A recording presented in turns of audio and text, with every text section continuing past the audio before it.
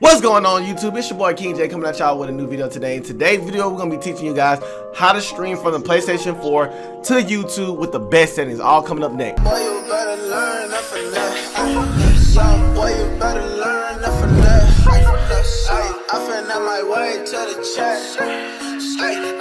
my way to the chat. Young boy, you better learn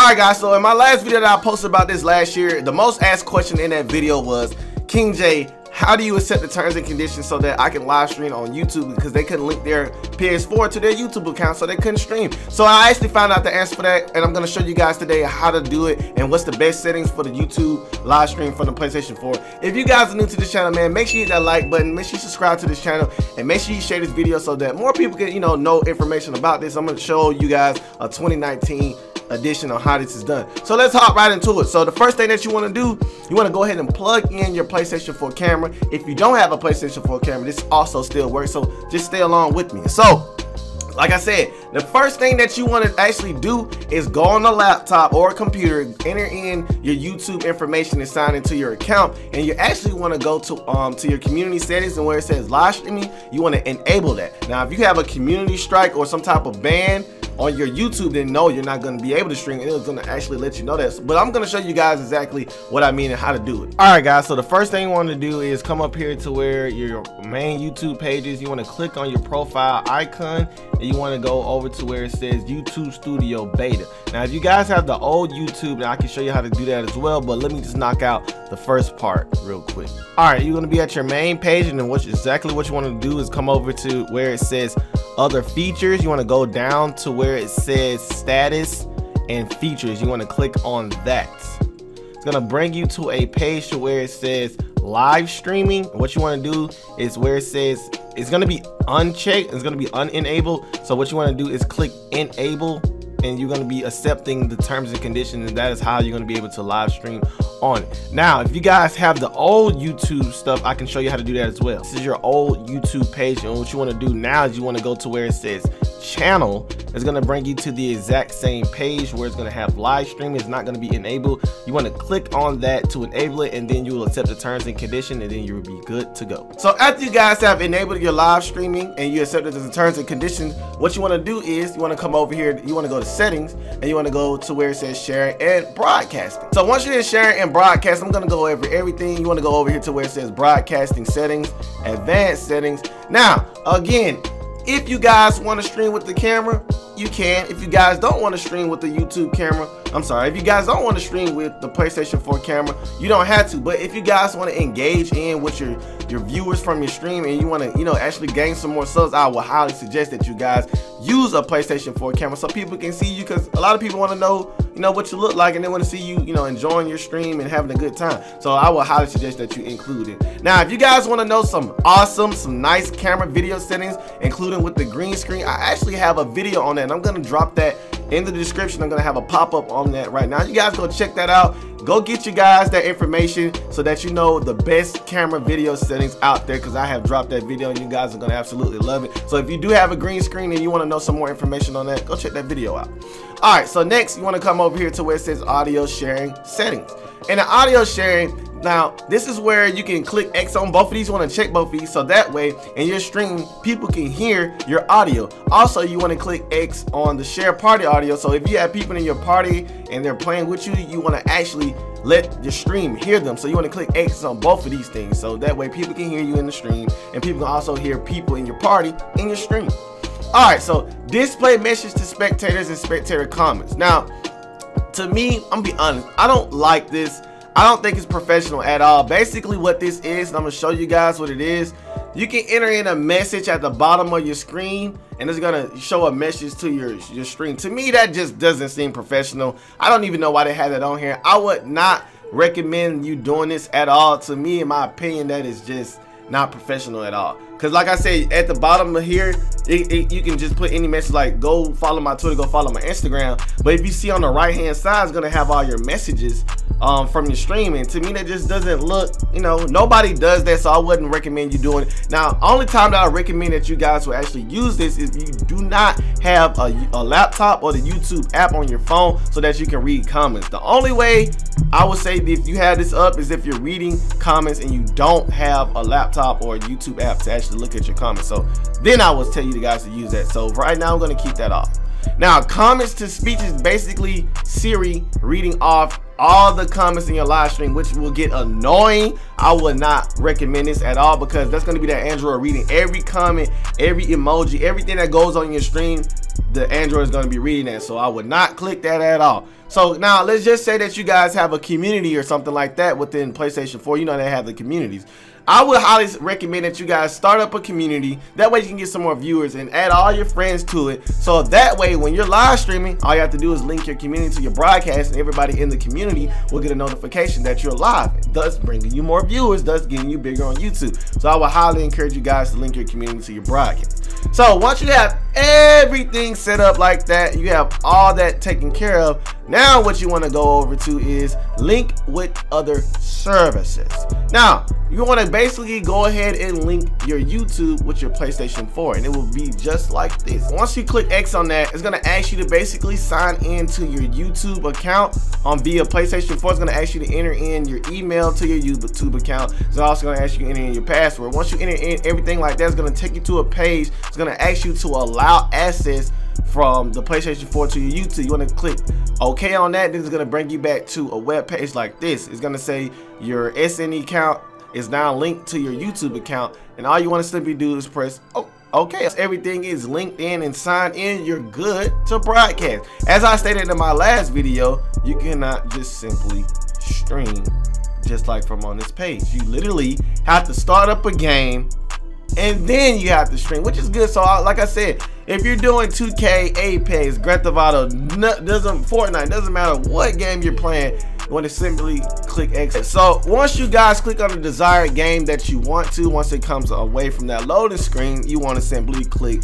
the share button on your PlayStation 4. You want to tap that one time and you want to go over to where it says broadcast gameplay. You want to click X on that. It's going to ask you which service do you want to broadcast on, Twitch or YouTube. We're doing YouTube. I will drop a Twitch tutorial if you guys want me to. Just let me know in the comment section. I got you guys. All right, so once you come up here, again, do you guys want to include in your camera, your PlayStation 4 camera at the bottom left um, corner?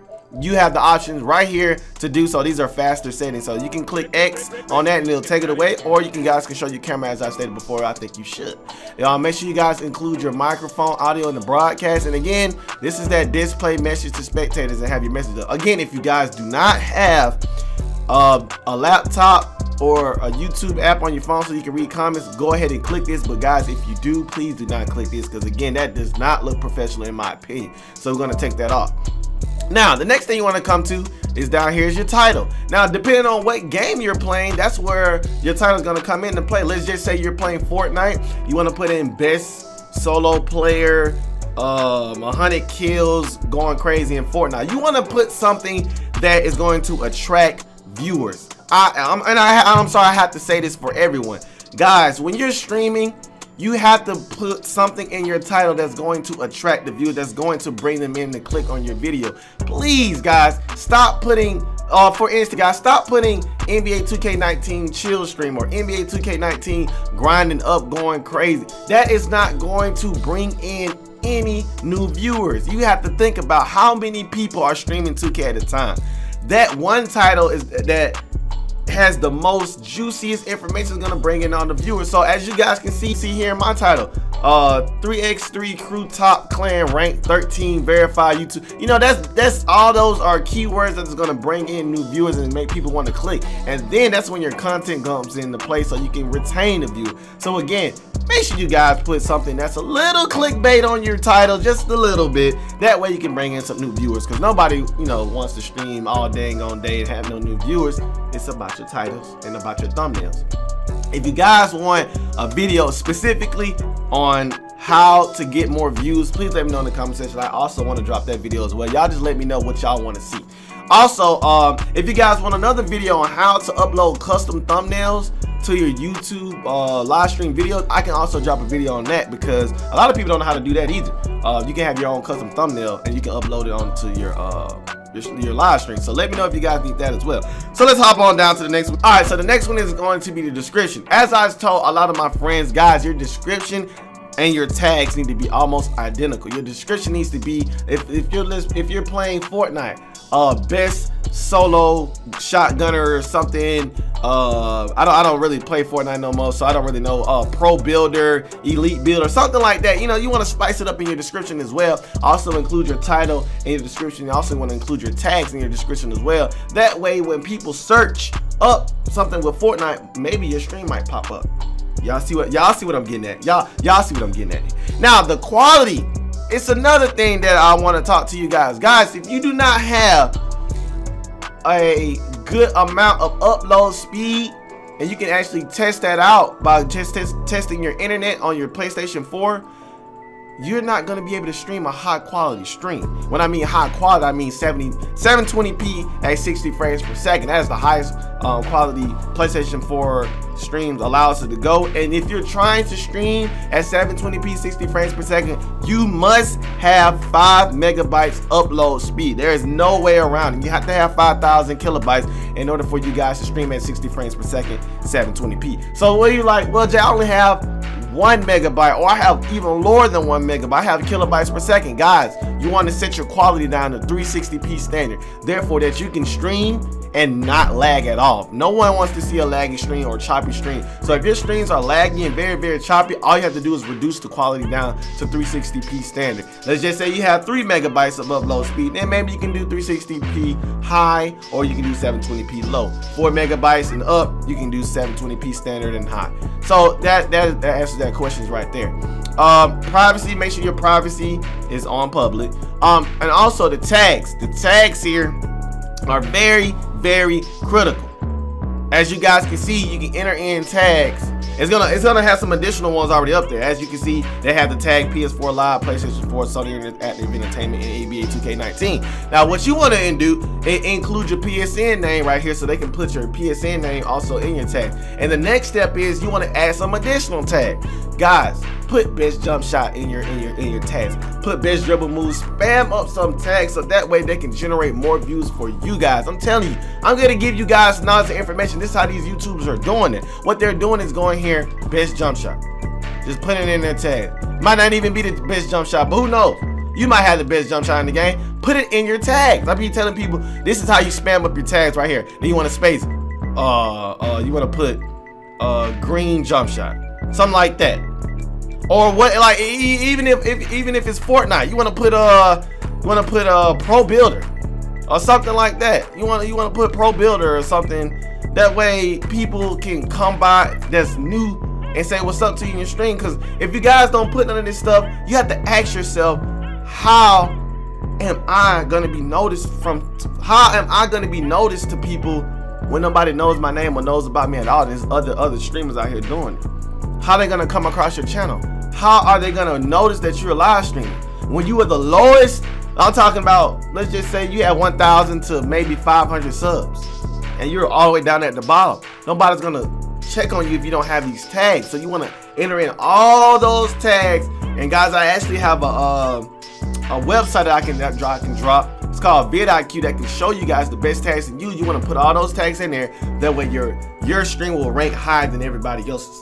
I've been doing this for a long time and I, and I can tell you guys it works out very, very well. I'm telling you guys. So these these are the information that you want to use. So after you enter in all your tags, you have your, your privacy, your quality, your description and title and everything ready to go. All you simply want to do is press start broadcasting and you guys will be live on YouTube. And if you guys, um, like I said, if you have the YouTube app on your phone, you can control your stream, your title, and all that through your phone. Or if you have a laptop or a computer, you can do all that from your computer.